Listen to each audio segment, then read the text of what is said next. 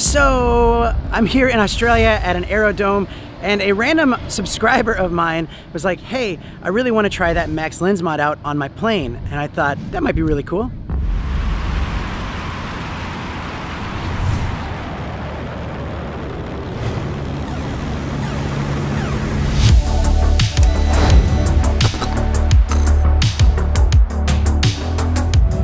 All right, before we get this started, I just want to say welcome to my channel. If this is your first time here, make sure you click that. And also that really helps out. Uh, this is gonna be a lot of fun testing out the Max Lens mod, which has been probably one of the coolest parts of owning the GoPro Hero 9. So this is the de Havilland Canada or DHC Chipmunk from the 1950s. Let's see what this thing can do.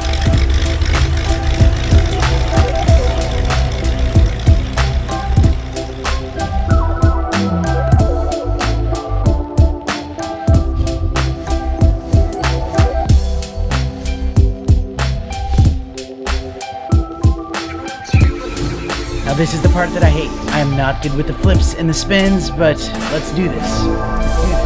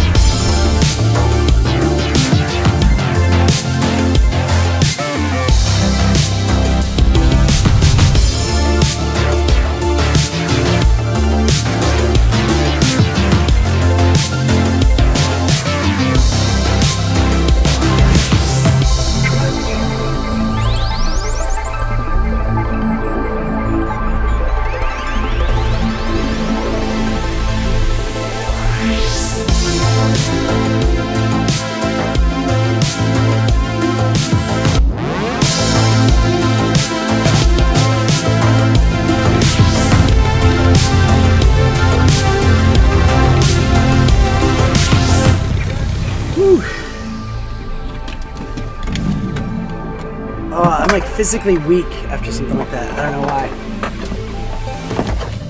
Yeah, I'm not really good with the G-force and the spinning stuff. It actually makes me sick. I've actually done this a few times with a plane before. So you know that I do this for you. Actually, I, mean, I do it for me too. It's still fun to play with the footage. This was the whole point of the excursion, is to see how this would look with the Max Lens mod. Not that long ago, I did a video on how to make your adhesive mounts like stronger just by using like a hair dryer. Well, that's not what I did here. and up there, normally it would be shaking like this. And with the Max Lens mod, you could see it really makes it stable. One of the things I think is very impressive with the Max Lens mod on is the horizon leveling. And you can see when the plane is actually getting hit by wind and it's moving around, it's like the camera stays still, but the plane is the only thing moving. It's pretty, man, that's like magic right there. When we did the first flip, I didn't know that this was gonna happen, but it actually corrects itself because of that horizon leveling. So you can see it kind of flipping in the video. And then it corrects itself back at the end of the flip.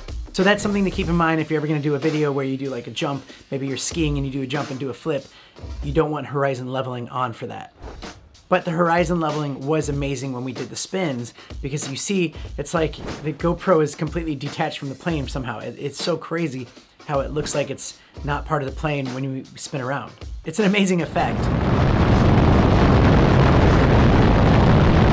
Now I wish that I had a couple more of these and these. It'd be awesome to put them like at the back of the plane and other spots of the plane. But guess what? I'm sure we'll do more plane rides in the future. All right, let's wrap this up. That was a really fun time, fun adventure to go on. I'm looking forward to making more videos with the GoPro Hero 9 and Max Lens mod coming up on my channel, so stay tuned. Plus a lot more like amazing cool stuff like you do not want to miss. All right, whew, there we go. I'm feeling better now, by the way. Thanks for asking. Uh, make sure you check out my Tech is Hard podcast channel right there.